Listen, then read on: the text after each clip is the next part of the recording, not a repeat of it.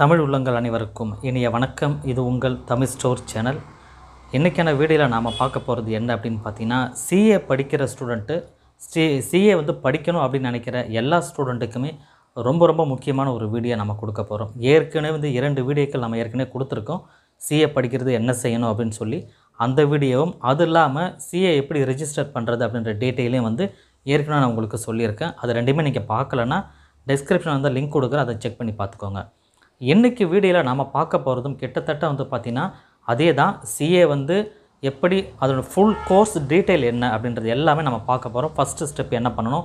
Second என்ன பண்ணணும்? அப்படின்ற எல்லா டீட்டெயிலுமே இந்த வீடியோவில் நம்ம பார்க்க போகிறோம் அதனால் இந்த வீடியோவை ஸ்கிப் பண்ணாமல் கடைசி வரைக்கும் பாருங்கள் பார்த்து முடிச்சுட்டு சிஏ படிக்கணும் அப்படின்னு நினைக்கிற உங்களை மாதிரி இருக்கிற நிறைய ஃப்ரெண்டு இருப்பாங்க இல்லையா? அவங்க எல்லாருக்கும் இந்த வீடியோவை ஷேர் பண்ணுங்கள் ஸோ இப்போ நம்ம டீட்டெயில் உள்ள போகலாம். சிஏனா என்ன? அப்படின்றத பார்த்துரும். சிஏ அப்படின்றது சார்ட்டர்ட் அக்கௌண்டன்ட் அப்படின்னு சொல்கிறது அதாவது பட்டய கணக்காளர் அப்படின்னு சொல்லுவாங்க தமிழில். இது வந்து படிக்கிறது என்பது இன்றைக்கி வந்து பார்த்திங்கன்னா உண்மையில் ரொம்ப சூப்பரான ஒரு படிப்பு அப்படின்னு சொல்லலாம். இதற்காக நீங்கள் பெரிய அளவில் நம்ம வந்து பெரிய மிகப்பெரிய படிப்புகளை ஏதாவது படிக்கணுமா அப்படின்னு கேட்டிங்கன்னா அதெல்லாம் எதுவுமே தேவையில்லை. ஜஸ்ட்டு சாதாரணமாக ப்ளஸ் டூ நீங்கள் முடிச்சிருந்தாலே போதும். அல்லது டிகிரி முடிச்சிருந்தால் போதும். இதை வச்சு நம்ம எப்படி படிக்கிறது? ஃபஸ்ட்டு என்ன செய்யணும்? செகண்ட் என்ன செய்யணும்? எல்லா டீட்டெயிலும் நான் உங்களுக்கு சொல்கிறேன் அப்போ இந்த சிஏ வந்து படித்து முடிச்சுட்டா நமக்கு என்ன பெனிஃபிட்லாம் இருக்குன்றது நம்ம சொல்ல வேண்டிய அவசியமே இல்லை. என்ன காரணம்னா சிஏ வந்து பார்த்திங்கன்னா இன்றைக்கி மோஸ்ட் வாண்டட் ஒரு ஜாபாக இருந்துகிட்ருக்கு காரணம் என்னென்னா இண்டஸ்ட்ரியல் நிறையா வந்தாச்சு.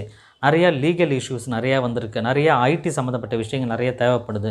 இந்த மாதிரி டெக்னாலஜி சம்மந்தப்பட்டவங்க இன்றைக்கி நிறையா வளர்ந்துட்டுருக்கு. இதுக்கு இடையில் வந்து சிஏ த சார்ட்டர்ட் அக்கௌண்டன்ட் அப்படின்ற ஒரு படிப்பை எடுத்து நம்ம படிச்சுட்டு ஒரு பட்டய கணக்காளராக நம்ம வெளியில் வரும்பொழுது நமக்கு நல்ல ஒரு ஆப்பர்ச்சுனிட்டி எதிர்காலத்தில் கண்டிப்பாக இருக்கும். இதுக்கு வந்து பார்த்திங்கன்னா முக்கியமாக ஒரு விஷயம் நான் ஃபஸ்ட்லேயே சொல்லிடுறேன். There is no age limit நீங்கள் பதினேழு வயசு முடிச்சுட்டு அதாவது ப்ளஸ் டூ முடிச்சிட்டவங்களும் இதை பண்ண முடியும். நீங்கள் ரிட்டைர்மெண்ட் ஏஜ் முடிஞ்சதுக்கு அப்புறம் கூட இதை படிக்கலாம். அதனால் இதுக்கு வந்து there is no age limit ஏஜ்லாம் ஒன்றுமே கிடையாது. யார் வேணால் படிக்கலாம். இது வந்து ஒரு கரஸ்பாண்டன்ட் கோ கோர்ஸ் மாதிரி தான் இருக்கும். வீட்டில் உட்காந்துட்டு நீங்கள் ஃபுல்லாக ப்ரிப்பேர் பண்ணி டேரெக்டாக எக்ஸாமுக்கு போகலாம். இல்லை நீங்கள் விருப்பப்பட்டீங்கன்னா ஒரு கோச்சிங் சென்டர் வெளியில் ப்ரைவேட்டாக இருக்குது கவர்மெண்ட்லேயும் நடத்துகிறாங்க அங்கே போய் ஜாயின் பண்ணி படிச்சுட்டும் நீங்கள் வந்து எக்ஸாமுக்கு போகலாம். ஸோ இது எல்லா டீட்டெயிலும் விளக்காமல் நான் உங்களுக்கு சொல்கிறேன் சிஏ படிக்கணும்னா ஃபஸ்ட்டு நம்ம என்ன செய்யணும்? அப்படின்னு பார்த்தீங்கன்னா ஒரு ஒரு பேசிக் லெவல் கோர்ஸ் வந்து இருக்குது அதாவது ஃபவுண்டேஷன் கோர்ஸ் அப்படின்னு சொல்லுவாங்க. இந்த ஃபவுண்டேஷனை ஃபஸ்ட்டு நம்ம கம்ப்ளீட் பண்ணணும். இந்த ஃபவுண்டேஷன் கம்ப்ளீட் பண்ணுறதுக்கு என்ன செய்யணும் அப்படின்னு பார்த்தீங்கன்னா இப்போது ரெண்டு ரூட் இருக்குது இதில். ப்ளஸ் டூ முடிச்சுட்டு வர்றது இன்னொன்று வந்து டிகிரி முடிச்சுட்டு வர்றது.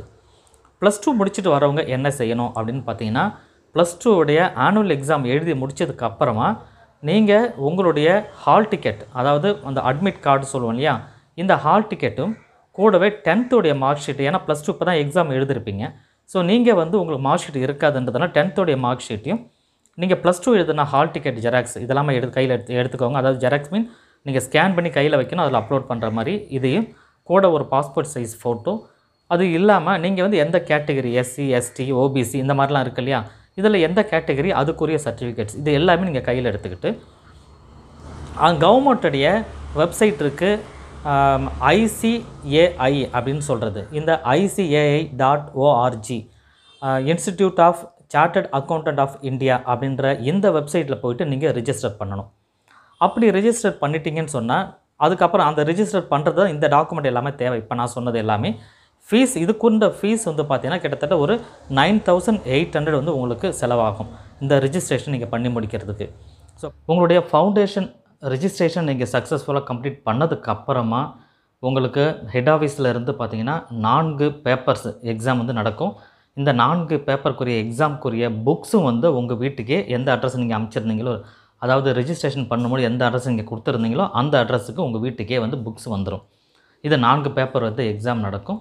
இந்த புக்ஸை எல்லாமே நீங்கள் வந்து நான்கு மாதங்கள் உங்களுக்கு வந்து டைம் இருக்குது அடுத்த எக்ஸாமுக்கு அதாவது ஃபவுண்டேஷன் எக்ஸாமுக்கு போகணுன்னா நீங்கள் வந்து கிட்டத்தட்ட நான்கு மாதங்கள் கண்டினியூ படிக்கணும் ஆஃப்டர் ரிஜிஸ்ட்ரேஷன் பண்ணதுக்கப்புறம் இந்த நான்கு மாதங்களும் புக்கு வந்ததுக்கப்புறம் நான்கு மாதங்கள் ஃபுல்லாக படித்து முடிச்சுட்டு ஃபவுண்டேஷன் எக்ஸாமுக்கு நீங்கள் போகணும். இந்த இதில் பேப்பரில் வந்து பார்த்திங்கன்னா உங்களுக்கு நான்கு வகையான பேப்பர் உண்டு. ஒரு பேப்பர் வந்து மினிமம் வந்து அது நாற்பது மார்க் வந்து எக்ஸாம் வரும். ஸோ நாற்பது மார்க் அப்படின்னு சொன்னீங்கன்னா கிட்டத்தட்ட வந்து பார்த்திங்கன்னா நான்கு பேப்பருக்கும் நூற்றி அறுபது மார்க் வந்து மொத்தமாக நீங்கள் எடுக்கணும். இந்த நூற்றி அறுபது மார்க் நீங்கள் கரெக்டாக எடுத்துட்டிங்கன்னா கூட அது பாஸ் கிடையாது. என்ன காரணம் அப்படின்னு பார்த்தீங்கன்னா அக்ரிகேட் வந்து டூ ஹண்ட்ரட் மார்க் வேணும் உங்களுக்கு. மொத்தம் நூற்றி அறுபது தான். ஆனால் இது எப்படி வந்து டூ ஹண்ட்ரட் எடுக்கணும் அப்படின்னு பார்த்தீங்கன்னா இங்கே எல்லாத்துலேயும் ஆவரேஜ்ன்றது வந்து நாற்பது நாற்பது நாற்பது வந்தீங்கன்னா தான் நூற்றி அறுபது. ஆனால் டோட்டல் அவங்களுக்கு தேவையான ரெக்குவமெண்ட் டோட்டல் வந்து பார்த்தீங்கன்னா இரநூறு. அப்போ வந்து ஒரு சப்ஜெக்ட்டில் நீங்கள் அறுபது எடுக்கலாம் எழுபது எடுக்கலாம் இன்னொரு சப்ஜெக்ட்டில் நாற்பது எடுக்கலாம் இந்த மாதிரி மாறி மாறி நீங்கள் எடுத்திருந்தீங்க அப்படின்னு சொன்னீங்கன்னா உங்களை பாஸ் மார்க்குன்றது தான் நாற்பது நாற்பது மார்க் அப்படின்னு சொல்கிறது நீங்கள் அதிகபட்சம் எவ்வளோ எடுக்கிறீங்களோ எடுக்கலாம். ஸோ இதில் வந்து ஒருத்தவங்க அறுபது மார்க் எடுக்கிறாங்க ஒருத்தர் எழுபது மார்க் எடுக்கிறாங்க இன்னொரு சப்ஜெக்ட்டில் இந்த மாதிரி பார்த்தீங்கன்னா டோட்டல் வந்து இரநூறு வந்தீங்கன்னா நீங்கள் வந்து ஃபவுண்டேஷனில் பாஸ் ஆகிடுவீங்க ஸோ இதுதான் வந்து அந்த ஃபவுண்டேஷன் எக்ஸாம்க்குரிய அந்த பேப்பருடைய டீட்டெயில் மார்க்குடைய டீட்டெயில் எல்லாமே. ஸோ சக்ஸஸ்ஃபுல்லாக நீங்கள் எக்ஸாம் பாஸ் பண்ணியாச்சு ஃபவுண்டேஷனுடைய எக்ஸாம் பாஸ் பண்ணதுக்கு அப்புறமா வந்து அதுக்கு அடுத்த லெவல் அப்படின்னு பார்த்தீங்கன்னா இன்டர்மீடியட் அப்படின்னு சொல்கிற அந்த லெவல் வந்து என்ட்ராகும் இந்த இன்டர்மீடியட் லெவலில் வந்து பார்த்தீங்கன்னா நீங்கள் அதுக்கப்புறம் திரும்ப வந்து படிக்க வேண்டியது இருக்கும் புக்ஸ் வரும். அந்த இன்டர்மீடியட் இன்டர்மீடியட் வந்து ரிஜிஸ்ட்ரேஷன் பண்ணதுக்கப்புறம் திரும்ப புக் வரும். அந்த புக்கை மறுபடியும் நீங்கள் படிக்கணும். அதை படித்து முடிச்சதுக்கப்புறமா இன்டர்மீடியட்டில் வந்து ரெண்டு குரூப் வந்து இருக்குது இந்த ரெண்டு குரூப்பில் எனி ஒன் குரூப் ஏதாவது ஒரு குரூப் எடுத்துகிட்டு நீங்கள் வந்து எழுதி எக்ஸாம் எழுதி பாஸ் பண்ணால் போதும். இதுலேயும் வந்து பார்த்திங்கன்னா நான்கு பேப்பரு ஒன்று ஒன்றுலேயும் வந்து நாற்பது மார்க் வந்து வரும் உங்களுக்கு. ஸோ இப்போ மொத்தம் ரெண்டு குரூப்பில் ரெண்டு குரூப்புமே எழுதணுன்ற கட்டாயம் இல்லை. ஏதோ ஒரு குரூப் நீங்கள் எழுதினாவே போதும். அதை எழுதி முடிச்சதுக்கு அப்புறமா உங்களுக்கு வந்து அடுத்த நான்கு வாரங்களுக்கு வந்து உங்களோட கம்யூனிட்டி டெவலப் கம்யூனிட்டி ஸ்கில்லை வந்து டெவலப் பண்ணுறதுக்காகவும் உங்களுடைய டெ அந்த கம்ப்யூட்டர் நாலேஜை டெவலப் பண்ணுறதுக்காகவும் ஒரு நான்கு வாரங்கள் வந்து ஒரு ட்ரைனிங் வந்து நடக்கும். கம்ப்யூட்டர் பற்றி ஒரு ட்ரைனிங் இது வந்து பார்த்தீங்கன்னா உங்களுக்கு ஐசிஐயிலே வந்து வந்து அந்த இன்ஸ்டியூட்லேயே வந்து ரெடி பண்ணுறாங்க அங்கேயும் படிக்கலாம். இல்லை நீங்கள் ப்ரைவேட்டாக படித்தாலும் அதை பற்றி டீட்டெயில் ஃபுல்லாக தெரிஞ்சுக்கிட்டு தான் அடுத்த லெவலுக்கு நீங்கள் போக முடியும். இப்போ இந்த கம்ப்யூட்டர் சம்மந்தப்பட்ட இந்த நாலேஜ் சம்மந்தப்பட்ட கம்ப்யூட்டர் நாலேஜ் அப்படின்னு சொல்லப்படுகின்ற இந்த கம்யூனி கம்யூனிகேஷன் ஸ்கில்லை நீங்கள் டெவலப் பண்ணதுக்கு அப்புறமா அதாவது கம்ப்யூட்டர் நாலேஜெலாம் டெவலப் பண்ணதுக்கு அப்புறமா வந்து ஆர்டிகல்ஷிப் ட்ரைனிங்கை பொறுத்த வரைக்கும் சிஏ அக்கௌண்டன்ட் கிட்ட நீங்கள் வந்து அசிஸ்டண்ட்டாக ஜாயின் பண்ணிவிட்டு மூன்று வருடங்கள் வந்து ஃபுல் ட்ரைனிங் வந்து அவர்கிட்ட நீங்கள் எடுத்துக்கணும். இந்த மூன்று வருடங்கள் அவங்க வந்து எங்கே ஒர்க் பண்ணுறாங்க எந்த இடத்துல உங்களுக்கு பண்ண சொல்கிறாங்களோ அவங்கக்கிட்டே இருந்து ஃபுல் அண்ட் ஃபுல் ரெகுலராக ஒரு காலேஜ் நீங்கள் எப்படி டெய்லி போவீங்களோ அட்டண்டன்ஸ் கொடுப்பீங்களோ அதே போல் டெய்லி அட்டண்டன்ஸ் கண்டிப்பாக அவர்கிட்ட இருக்கணும். அவர் வந்து அவங்களுடைய ஹெட் ஆஃபீஸ் அதாவது ஐசிஐயில் வந்து அவங்க வந்து ரிப்போர்ட் பண்ணுவாங்க. அதாவது சார்ட்டர்ட் அக்கௌண்ட் ஆஃப் இந்தியா இதில் வந்து பார்த்திங்கன்னா அவங்க ரிப்போர்ட் கொடுப்பாங்க. அந்த ரிப்போர்ட்டை வச்சு தான் உங்களுக்கு ஃபைனல் எக்ஸாம்லாம் வரும். அதனால் வந்து கம்பல்சரி அந்த மூன்று வருடம் கிளாஸ் அவர் கிளாஸ் மீன் அவர் கூடயே நீ இருந்து ஒர்க் பண்ணணும். இதுக்கு வந்து பார்த்திங்கன்னா ஸ்டைஃபண்ட் கொடுப்பாங்க. இந்த ஸ்டைஃபன் அப்படின்னு சொல்கிறது எவ்வளோ கொடுப்பாங்க அப்படின்னு பார்த்தீங்கன்னா இந்த மூன்று வருடங்களுக்குமே முதல் வருடம் அதாவது கவர்மெண்ட்டுடைய ரூல்ஸ் படி வந்து பார்த்திங்கன்னா முதல் வருடம் வந்து எந்த ஸ்டேட்டில் எந்த இடத்துல வந்து நீங்கள் வந்து ஒர்க் பண்ணுறீங்க அந்த ட்ரைனிங் எடுத்துக்கிறீங்களோ அந்த ஸ்டேட்டில் ஒரு நான்கு லட்ச நான்கு லட்சத்துக்கும் குறைவான பாப்புலேஷன் இருக்கிற இருக்கிற ஏரியாவாக இருந்தால் மினிமம் வந்து உங்களா அவங்களுக்கு வந்து ஆயிரம் ரூபாய் வந்து ஸ்டைஃபன் கொடுக்கணுன்றது கவர்மெண்ட் ரூல் இருக்குது அதே போல் நான்கு லட்சத்துலேருந்து ஒரு பன்னெண்டு லட்சம் அதுக்குள்ளே இருக்குதுன்னு சொன்னால் ஒரு ஆயிரத்தி ஐநூறு. அடுத்த லெவல் வந்து இரண்டாயிரம். ஸோ இந்த பாப்புலேஷன் டிபெண்ட் பண்ணி தான் உங்களுக்கு ஸ்டைஃபன் ஆனது கொடுக்கப்படுது. இது கவர்மெண்ட் ரூல் படி. ஆனால் எல்லா இடத்துலையுமே குறைந்தபட்சம் மூவாயிரமே ஸ்டைஃபன் கொடுக்குறாங்க மாதத்துக்கு ஏன்னா நான் சொல்கிறது நான்கு லட்சம் வந்து குறைவான மக்கள் தொகை. இந்த எல்லா இடத்துலையுமே அதை விட அதிகமான மக்கள் தொகை கண்டிப்பாக இருக்கும். அதனால் வந்து மினிமம் வந்து three thousand four thousand five thousand அந்த ரேஞ்சுக்கு ஃபஸ்ட் இயரே வாங்கக்கூடிய லெவல்லாம் இருக்குது நிறைய பேர் கொடுத்துட்டும் இருக்காங்க. அதனால் இந்த மூன்று வருடம் ஆர்டிகல்ஷிப் ட்ரைனிங் நீங்கள் அட்டன் பண்ணும் பொழுது மாதத்துக்கு குறைந்தது மூவாயிரம் முதல் வருடம் அதுக்கப்புறம் ஐநூறு ஏற்றி மூவாயிரத்து ஐநூறு திரும்ப நாலாயிரம் சொல்லி இந்த மூன்று வருடத்துக்கு மாதத்துக்கு வந்து உங்களுக்கு ஸ்டைஃபன் கொடுக்கப்படும். இந்த ஸ்டைஃபன்லாம் அவங்க கொடுப்பாங்க அதை நீங்கள் கலெக்ட் பண்ணிவிட்டு அதுக்கே நீங்கள் அடுத்தடுத்த எக்ஸாமுக்கு நீங்கள் இப்போ ஃபீஸ்லாம் பே பண்ணுறதுக்கு போகிறதுக்கு உங்களுக்கு சிரமம் இல்லாமல் இருக்கிறது ஒன்றுனா வாய்ப்புகள் வரும். ஸோ இந்த ஆர்டிகல்ஷிப் ட்ரைனிங் ஆஃப்டர் வந்து அந்த த்ரீ இயர்ஸ் முடிஞ்சதுக்கு அப்புறம் அடுத்து நம்ம என்ன பண்ணணும் பார்த்தீங்கன்னா அந்த ஆர்டிகல்ஷிப் ட்ரைனிங் முடிஞ்சு கடைசி ஆறு மாதத்துக்குள்ளேயே வந்து உங்களுக்கு ஃபைனல் எக்ஸாம் வர ஆரம்பிக்கும். இந்த ஃபைனல் எக்ஸாமுக்கு நீங்கள் போய் அட்டன் பண்ணிவிட்டு ஃபைனல் எக்ஸாமை கம்ப்ளீட் பண்ணணும். ஸோ இதுதான் வந்து ஓவராலாக சிஏ நீங்கள் ஆகிறதுக்கு உண்டான ரூட் ஸோ ஞாபகம் வச்சுக்கோங்க ஃபவுண்டேஷன் ப்ளஸ் டூ முடித்தவங்களுக்கு ஃபவுண்டேஷன் வழியாக போயிட்டு அதுக்கப்புறம் வந்து இன்டர்மீடியேட்டில் ரெண்டு குரூப்பில் ஏதாவது ஒரு குரூப் பாஸ் பண்ணணும். அதுக்கப்புறம் சின்னதாக ஒரு நான்கு வாரங்கள் கூட கம்ப்யூட்டர் நாலேஜ் இருக்கும். அதுக்கப்புறம் ஆர்டிகல் ஷிப் ட்ரைனிங் வந்து ஒரு மூன்று வருடங்கள். அதுக்கப்புறம் ஃபைனல் எக்ஸாம் இது வந்து ப்ளஸ் டூ முடிச்சுட்டு வரவங்களுக்கு டிகிரி முடிச்சுட்டு வரவங்களுக்கும் இதே மெத்தட் உண்டு. ஆனால் டிகிரி முடிச்சுட்டு வரவங்களுக்கு ஒரே ஒரு விஷயம் என்னென்னா அந்த ஃபவுண்டேஷன் எக்ஸாம் மட்டும் இல்லாமல் நேரடியாக அவங்க வந்து இன்டர்மீடியட்டுக்கு உள்ளே வந்துடலாம். இன்டர்மீடியட்டில் ரெண்டு குரூப்பில் எந்த குரூப் வேணால் எடுத்துக்கலாம். அவங்க அதுக்கப்புறம் ப்ளஸ் டூக்கு என்ன ரூட் சொன்னோமோ அதே ரூட்டில் அவங்க வரலாம்.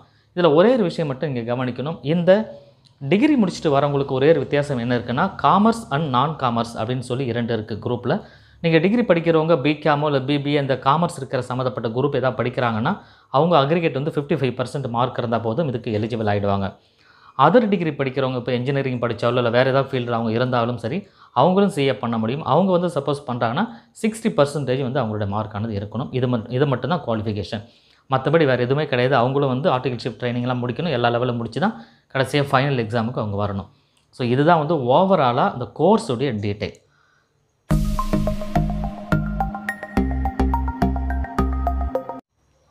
எங்கே போய் படிக்கணும் எப்படி படிக்கணும் அப்படின்னு பார்த்தீங்கன்னா இதற்கு வந்து institute of chartered account of India அப்படின்னு சொல்லப்படுகிற கவர்மெண்ட்டுடைய பிரான்ச்சஸ் இருக்குது சென்னையில் இருக்குது அதாவது சவுத் ரீஜன் தான் சென்னையில் இருக்கும். அதாவது ஐசிஏஐ இது வந்து பார்த்திங்கன்னா சவுத் ரீஜனுக்கு வந்து சென்னையில் இருக்குது ஹெட் ஆஃபீஸு நுங்கம்பாக்கத்தில் இருக்குது இந்த நுங்கம்பாக்கத்தில் இருக்கிற ஆஃபீஸில் வந்து நீங்கள் வந்து டைரெக்டாக அங்கே ஜாயின் பண்ணிவிட்டு நீங்கள் கோர்ஸ் வந்து எடுத்துக்க முடியும்.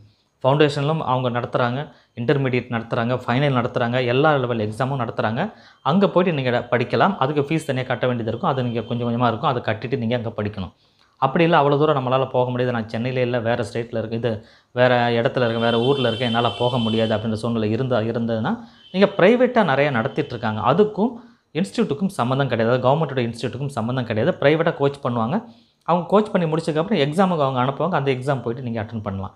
ஸோ இது வந்து உங்களுடைய விருப்பம். ஏன்னா ப்ரைவேட்டாக போனீங்கன்னா குறைந்தது வந்து ஒரு சாதாரணமாக எனக்கு தெரிஞ்சு ஒரு இரண்டு லட்ச ரூபா கிட்ட கண்டிப்பாக செலவாகிறது வாய்ப்புகள் உண்டு. ஏன்னா மினிமம் வந்து தேர்ட்டி தௌசண்ட் அவங்க அவங்க ஃபவுண்டேஷனுக்கே தேர்ட்டி தௌசண்ட் வரும். அதுக்கப்புறம் இன்டர்மீடியட்டுக்கு ஒரு ஃபார்ட்டி தௌசண்ட் அந்த மாதிரி வாங்குறாங்க. ஸோ நான் கேள்விப்பட்ட வரைக்கும் அந்த அளவுக்கு அதிகமாக வாங்குறாங்க. ஆனால் கவர்மெண்ட்டில் நீங்கள் டேரெக்டாக சென்னையில் நுகமாகத்தில் போய் ஏதோ ஒரு இடத்துல நீங்கள் தங்கி படிச்சிருந்தா கூட இந்த அளவுக்கு செலவானது கண்டிப்பாக வரத்துக்கு வாய்ப்புகள் கிடையாது. ஸோ இந்த மாதிரிலாம் இருக்குது அப்போ எங்கே போய் படிக்கணும்னா டேரெக்டாக கவர்மெண்ட் இன்ஸ்டியூட்டில் படிக்கலாம். சென்னை நுங்கம்பாக்கத்தில் இல்லை ப்ரைவேட்டாக நிறைய பேர் நடத்துகிறாங்க அங்கே போய் படிச்சுக்க முடியும். ஸோ இது வந்து ஒரு கைட்னஸ் ஃபீஸோட டீட்டெயிலெலாம் வந்து இன்னும் கொஞ்சம் தெளிவாக நாங்கள் அடுத்த வீடியோவில் உங்களுக்கு நான் சொல்கிறேன் தடி ஒன்று ஒன்றுக்கும் எவ்வளோ எவ்வளோ ஃபீஸ்லாம் நமக்கு தேவைப்படுது. ஆக்சுவலி கவர்மெண்ட்டுக்கே நம்ம எவ்வளோ செலவு பண்ண வேண்டியது இருக்குது எல்லாமே அடுத்த வீடியோவில் நான் உங்களுக்கு ஃபீஸ் டீட்டெயிலாக டீட்டெயிலாக கொடுக்குறேன். ஏன்னா இந்த வீடியோ கொஞ்சம் பெரிய வீடியோ பத்து நிமிஷத்துக்கு மேலே ஆனதுனால எல்லா விஷயத்தையும் இதிலேயே சொல்ல முடியாது. நம்ம பார்க்குறதுக்கும் சிரமமாக இருக்கும். அதனால் அடுத்த வீடியோவில் அதை பற்றி டீட்டெயிலாக உங்களுக்கு நான் கொடுக்குறேன்.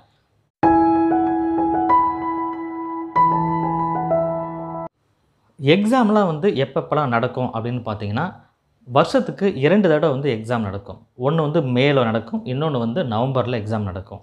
நீங்கள் ஜூனில் ரிஜிஸ்டர் பண்ணுறீங்கன்னா நவம்பரில் எக்ஸாம் எழுதலாம். அதே போல் டிசம்பரில் ரிஜிஸ்டர் பண்ணிங்கன்னா மேலே வந்து எக்ஸாம் எழுதலாம். ஸோ இதுதான் வந்து வ- வருடத்துக்கு இரண்டு எக்ஸாம் வந்து நடக்குது. இந்த எக்ஸாமோட கேப்லாம் உங்களுக்கு கண கால்குலேட் பண்ணி பார்த்தீங்கன்னா நான் சொன்ன வகையில் உங்களுக்கு கண்டிப்பாக இருக்கும்.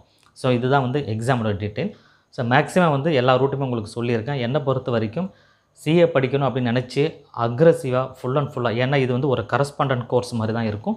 வீட்டிலேருந்து படிக்கிறதுக்கோ அல்லது ஒரு கோச்சிங் கிளாஸ் போய் தான் படிக்க முடியும். தெர் இஸ் நோ காலேஜ் அப்படின்றத ஞாபகம் வச்சுக்கோங்க. காலேஜில் போய் படிக்க படிக்க முடியாதுன்றதுனால வீட்லேயே நீங்கள் எப்படி ஒரு காலேஜுக்கு போனீங்கன்னா ஒரு ஆறு மணி நேரமோ எட்டு மணி நேரம் ஃபுல்லாக உட்காந்து நம்ம காலேஜில் இருக்கிறோமோ அதே போல் இருந்து ஃபுல் அண்ட் ஃபுல்லாக வீட்லேயே உட்காந்து ப்ரிப்பேர் பண்ணால் கூட இதில் நல்லாவே எக்ஸாம் வந்து எழுத முடியும். ஆனால் இதில் ஒரு விஷயம் இருக்குது எக்ஸாமில் வந்து ஒரு பேப்பரில் ஃபெயில் ஆனீங்கன்னா திரும்ப எல்லா பேப்பரும் எழுத வேண்டிய சூழ்நிலை தான் இருக்கும். அது எப்போனா அந்த ஒரு பேப்பர்லேயே வந்து மினிமம் மார்க் நீங்கள் ரீச் பண்ணியிருந்தீங்கன்னா அந்த பேப்பர் எழுத தேவையில்ல. மீதி எல்லாமே எழுதினா போதும். அதுக்கு வந்து ஒரு த்ரீ அட்ட அட்டம் வரைக்கும் டைம் இருக்குது அந்த த்ரீ அட்டம் நீங்கள் முடிச்சு அதுக்குள்ளே முடிச்சிட்டிங்கன்னா பிரச்சனை இல்லை. இல்லைனா திரும்ப வந்து அந்த இது அந்த லெவலில் திரும்ப ஃபஸ்ட்லேருந்து எழுத வேண்டியது வரும். உதாரணத்துக்கு இன்டர்மீடியட் எழுதுறீங்க இன்டர்மீடியட் ஃபெயில் ஆகிட்டீங்கன்னா திரும்ப இன்டர்மீடியட் தான் எழுதணுமே தவிர ஃபவுண்டேஷன் எழுத வேண்டிய போ- வேலை கிடையாது உங்களுக்கு. ஸோ இந்த மாதிரி விஷயங்கள்லாம் இருக்குது கொஞ்சம் கவனித்து நீங்கள் அதனால தான் படிக்கணும் அப்படின்னு சொல்கிறது சார்ட்டர்ட் அக்கௌண்டன்ட் அப்படின்னு சொல்கிறது உண்மையில் நல்ல கோர்ஸு படிக்கணும்னு ஆர்வம் இருக்கிறவங்க ஐசிஏஐ டாட் ஓஆர்ஜி இந்த வெப்சைட்டில் போயிட்டு டீட்டெயில் எல்லாமே இப்போ நான் சொன்ன எல்லா டீட்டெயிலுமே அந்த இதில் அதில் கொடுத்துருப்பாங்க. அதில் போயிட்டு ஃபுல்லாக நீங்கள் செக் பண்ணி பார்த்துக்கலாம். டெஸ்கிரிப்ஷன் அந்த லிங்க் கொடுத்துருக்கேன். அதை நீங்கள் செக் பண்ணி பாருங்கள் இது தொடர்பான எந்த ஒரு சந்தேகங்கள் இருந்தாலும் இந்த வீடியோக்கு இருக்கிற கமெண்ட் செக்ஷனில் கமெண்ட் பண்ணுங்கள் ஸோ நம்மளுடைய சேனலை நீங்கள் இது வரைக்கும் சப்ஸ்கிரைப் பண்ணாமல் பார்க்குறீங்கன்னா மறக்காம நம்ம சேனலை சப்ஸ்கிரைப் பண்ணுங்கள் இந்த சேனலுக்கு ஒரு லைக் கொடுங்க. உங்கள் ஃப்ரெண்ட்ஸ் எல்லாருக்கும் இந்த வீடியோவை ஷேர் பண்ணுங்கள் தேங்க்யூ ஃபார் வாட்சிங் அடுத்த வீடியோவில் நாம் சந்திக்கலாம். அடுத்த வீடியோ ஃபேஸ் டீட்டெயிலை பற்றி ஒரு வீடியோ உங்களுக்கு நான் கண்டிப்பாக கொடுக்குறேன். தேங்க்யூ